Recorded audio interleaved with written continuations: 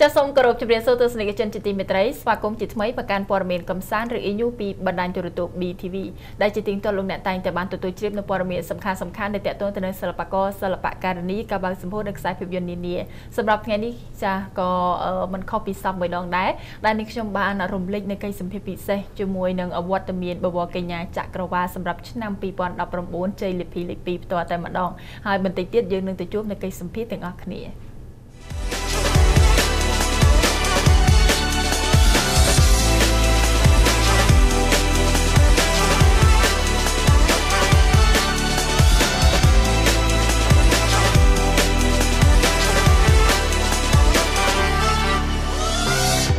ទស្សនិកជនទីមេត្រីសម្រាប់ថ្ងៃនេះគឺនេះខ្ញុំមានកិច្ចសម្ភារពិសេសមួយតាក់ទងជាមួយនឹងការដាក់ពាក្យចូលប្រឡងនៅក្នុងកម្មវិធីបវរកញ្ញាចក្រវាលសម្រាប់ឆ្នាំ2019ឬមួយក៏យើងហៅបានថា Miss Universe Cambodia សម្រាប់ឆ្នាំ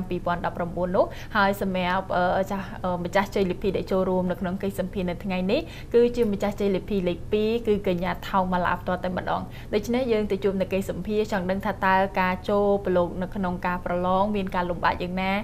មានអ្វីខ្លះតកតងទៅនឹងការប្រឡងទម្រាំតែទទួលបាននូវភាពជោគជ័យនោះអនុញ្ញាតជួបជាមួយនឹងតារាកិត្តិយសតែម្ដងចាស់ជំរាបសួរ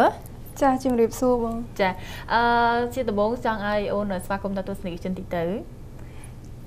ចាជំរាបសួរនាងខ្ញុំឈ្មោះថងម៉ាឡែអាយុ20ឆ្នាំមកពីខេត្តកណ្ដាលគឺជាកញ្ញាឯកចក្រវាលកម្ពុជាចំណាត់ថ្នាក់លេខ2ចាឃើញថាសម្រាប់ការប្រឡងនេះគឺទើបតែបញ្ចប់នៅក្នុងពេលថ្មីថ្មីនេះទេអារម្មណ៍យ៉ាងមិនដែរនៅពេលដែលមកដាក់ពាក្យមានដែរគិតសម័យថាខ្លួនឯងនឹងទទួលបាននៅជ័យលេខ2លេខ2ដែរទេសម្រាប់អារម្មណ៍ខ្ញុំគឺខ្ញុំអត់ដែរ គិតថាខ្ញុំអាចជាប់ចំណាត់ថ្នាក់លេខ2ទេ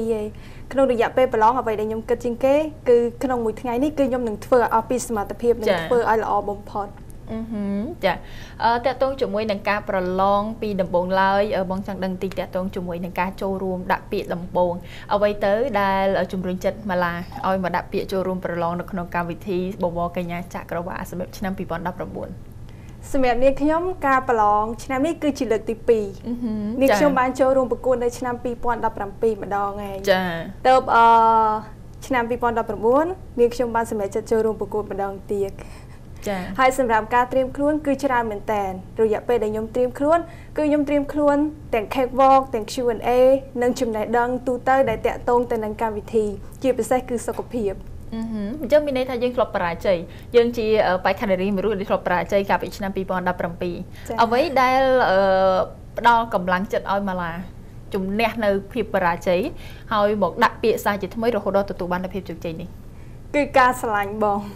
ដោយសារតែការឆ្លាញ់គឺជាអត្តពលឲ្យនាងខ្ញុំចូលរួមប្រកួតម្ដងទៀតប៉ុន្តែតម្រាំតែសម្រាប់ចិត្តខ្លួនឯងចូលរួមប្រកួត គឺចំណាយពេលរយៈពេលយូរគឺអឺ ខ្ញុំតែតែសួរ comment ពីអ្នកដតីថាឥឡូវខ្ញុំបែបណាអីបែបណាហើយខ្ញុំព្យាយាមអភិវឌ្ឍខ្លួនឯងពីមួយថ្ងៃទៅមួយថ្ងៃប៉ុន្តែអត្តពលពិសេសដែលជាអត្តពលនេះខ្ញុំចូលរួមប្រកួតខ្លាំងមែនទែនគឺគ្រួសារចាអញ្ចឹងមានន័យថាគ្រួសារផោះម៉ាឡាគឺស្រឡាញ់និងចង់ជំរុញឲ្យអូនចូលរួមនៅក្នុងវិថីសិល្បៈដែរណោះចានៅពេលដែលយើងធ្លាប់បានបរាជ័យម្ដង ប៉ុន្តែយើងបានមកចូលរួមសារជាថ្មីអញ្ចឹងយើងមានរំពឹងឬមួយក៏មានក្តីសម័យទេថាការដែលយើងចូលមកលើកនេះយើងនឹងទទួលបាននូវជ័យលាភីណាមួយនៅក្នុងការប្រកួតឬមួយក៏យ៉ាងមិនដែរសម្រាប់នាងខ្ញុំការប្រកួតលើកទី2ក្នុងឆ្នាំ2019នេះគឺបេក្ខភាពតែ25រូបគឺសិតតែខ្លាំងហើយខ្ពស់ជាងខ្ញុំច្រើនមែនតើបងខ្ញុំមិនដែររំពឹងថានាងខ្ញុំនឹងអាចជាប់ចំណាក់ថ្នាក់លេខ2ឯងគឺខ្ញុំតែនិយាយប្រាប់ខ្លួនឯងថាក្នុងថ្ងៃនេះគឺខ្ញុំ ត្រូវតែធ្វើឲ្យល្អខ្លាំងបំផុតចាឆ្លងកាត់នៅវិញ្ញាសាអ្វីខ្លះក៏ដូចជាផលលំបាកអីខ្លះទម្រាំតែទទួលបានមកុដដែលកំពុងតែពាក់នេះ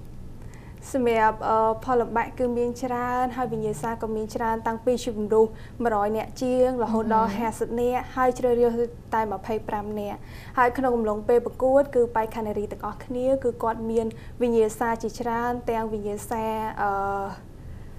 ការ interview ពីខេត្តតំណាងខ្លួនឯងហើយនឹងសម្រាប់ពីធម្មជាតិចំណេះដឹងទូទៅ គឺការចូលសម្ភារគឺច្រើនខ្លាំងមែនតើជាមួយនឹងគណៈកម្មការហើយយើងតែម្នាក់ឯងគឺរយៈពេលប្រឡងគឺពិបាកខ្លាំងបង ចាដោយសារតែបងឃើញថាការប្រឡងរបស់ម៉ាឡាគឺមានវិញ្ញាសាជាច្រើនហើយមានតំណាងជាខេត្តទៀតម៉ាឡាបានជម្រាបជូនពីខាងដើមថាម៉ាឡាគឺមានស្រុកកំណើតនៅខាងខេត្តកណ្ដាលเนาะអញ្ចឹងយើងខ្លាចទៅជាបេក្ខនារីតំណាងខេត្តណាដែរខេត្តមណ្ឌលគិរីបងមណ្ឌលគិរីចាអ្វីទៅដែលជាចំណុចពិសេសដែលអាចធ្វើឲ្យយើងដឹងពីខេត្តមណ្ឌលគិរីដើម្បីឲ្យយើងខ្លាចទៅជាតំណាង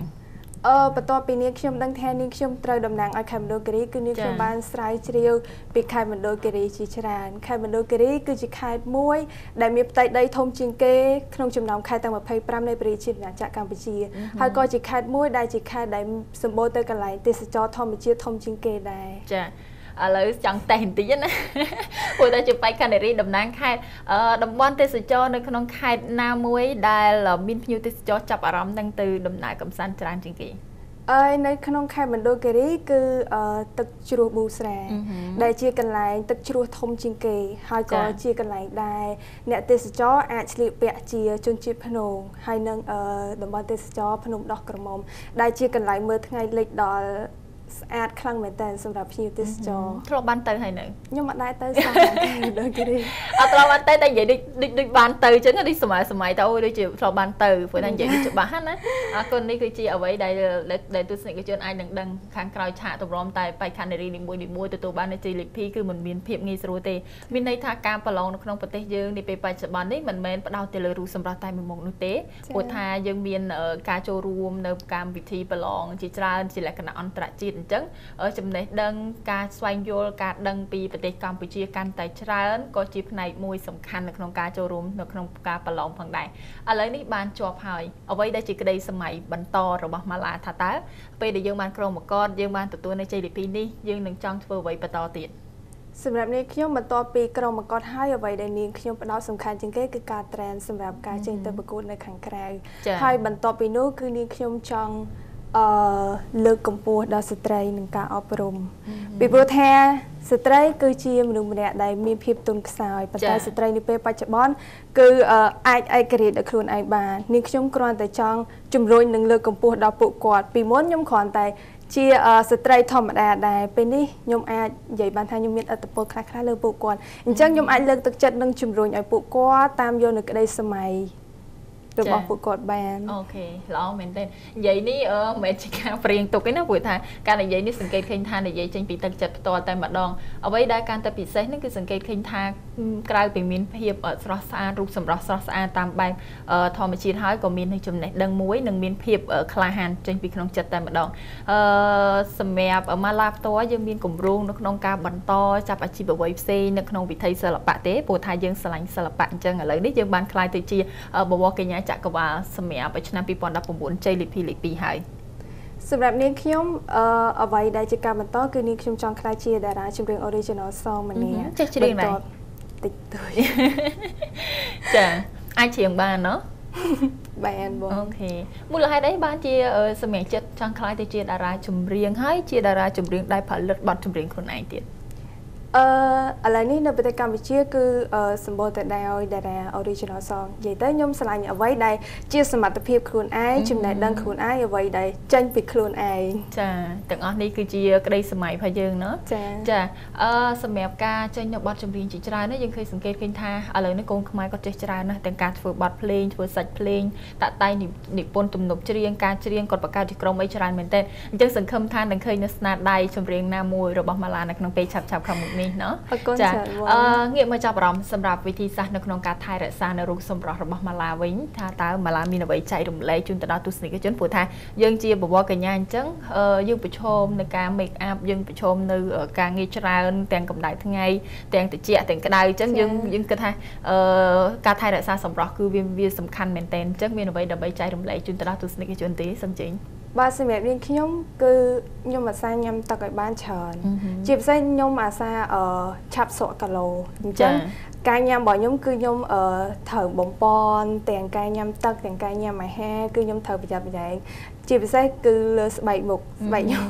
ជាងការអឺយើង make up ច្រើនវាអាចនឹងទទួលការរោឬក៏ស្លក់ក្រុមភ្នែកអីចឹងយើងត្រូវថែរក្សាវាជាងការ អអឺបិទតលងប្រាំងជាមួយទឹកដោះគោនិយាយទៅវិធីសាស្ត្រធម្មជាតិគឺធ្វើធ្វើបានច្រើនបងអូខេចាទាំងអស់នេះគឺជាវិធីសាស្ត្រធម្មជាតិហើយសម្រាប់ធម្មជាតិទៀតអរគុណដោយសារតែអញនិយាយបានថាពេលវេលាយើងខ្លីមែនតែនសំណេះសំណាក់គ្នាបានតិចណាស់ហើយសង្ឃឹមថាជួបគ្នានៅឱកាសក្រោយៗបន្តទៀតមុននឹងបញ្ចប់ចុងក្រោយម៉ាឡាមានជាពាក្យពេចន៍អ្វីដែរសំចេញ ជាចុងក្រោយនាងខ្ញុំសូមអរគុណទៅដល់ទស្សនិកជនក៏ដូចជាពុកម៉ែបងប្អូនដែលដែលតែងតែគ្រប់គ្រងនាងខ្ញុំក៏ដូចជាកញ្ញាឯកកម្ពុជាដទៃទៀតហើយសង្ឃឹមថាពុកម៉ែបងប្អូនទាំងអស់គ្នានឹងបន្តការគ្រប់គ្រង ទៅដល់កញ្ញាឯកកម្ពុជាដែលពួកគាត់ចេញទៅតំណាងនៅអឺស្រុកក្រៅហើយក៏អរគុណអរគុណខ្លាំងមែនតើសម្រាប់គ្រួសាររបស់នាងខ្ញុំក៏ដូចជាអ្នកគ្រប់គ្រងរបស់នាងខ្ញុំទាំងអស់គ្នាដោយសារតែអ្នកទាំងអស់គ្នាទើបនាងខ្ញុំអាចមានថ្ងៃនេះអរគុណនាងខ្ញុំមានតែម្រាមដៃ10សម្រាប់ការអរគុណអ្នកទាំងអស់គ្នាចាបងក៏អរគុណទៅដល់ម៉ាឡាចាដែលបានចំណាយពេលចូលរួមនៅក្នុងកម្មវិធីក៏ដូចជាផ្ដល់កិច្ចសម្ភារតាក់ទងជាមួយនឹងការងារខ្លះខ្លះក៏ដូចជា